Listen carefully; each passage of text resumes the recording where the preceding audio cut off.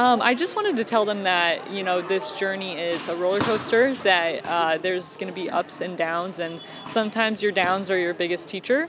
And that if there's two things you can control, that is your work ethic and your attitude. And I just hope that they can continue to work hard um, and have a really positive attitude going forward in their next chapter.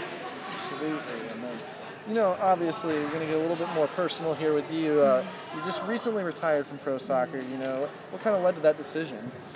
Yeah, that decision was just based on kind of me and my husband deciding what was next for us, and we wanted to start a family and settle down, and so that's currently what we're doing. And my husband likes to call it a little R retirement, where you know we'll see uh, what the future holds and if you know there's a comeback in the future. But for now, uh, just focusing on family time and um, being at home and being with my little boy.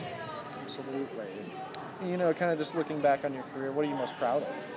Oh, geez, what am I most proud of? I think you know, I think what I'm most proud of is probably just the relationships that I that I made with um, players and coaches, and you know, I just feel so grateful for the impact that you know they all had on me, and and I hope that I helped others be the best that they could be as well. But just truly, truly um, grateful for the relationships that I made along the way.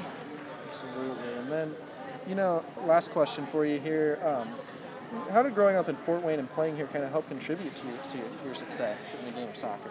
Yeah, I really do believe that uh, this club has some fantastic coaches and um, some great facilities, and it helped me become the player uh, that I was uh, before I went off to college, and then that helped me through college and through professional soccer. So, uh, really, just grateful for this club, uh, what they instilled in me, how how they taught me to work hard and keep a positive attitude, and yeah, just very grateful for them.